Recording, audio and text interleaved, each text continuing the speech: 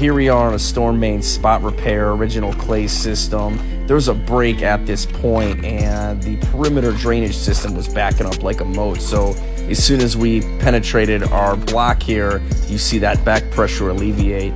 Anytime we're digging down, we throw in our speed shoring, we're making our hole safe.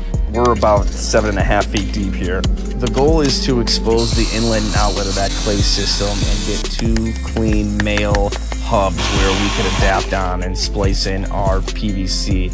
We adapt from our clay to PVC with the ARC Mission Band heavy duty Ferncos. These are shielded, double banded, really good for direct burial. Anytime we're doing excavation, I'm always throwing in a clean out. We're using a six inch non-directional tee. This is compliant in my area. Always thinking of the next guy and service down the road. We backfill with premium Wash 57 gravel in the excavated soil, and we're in and out of here in a day.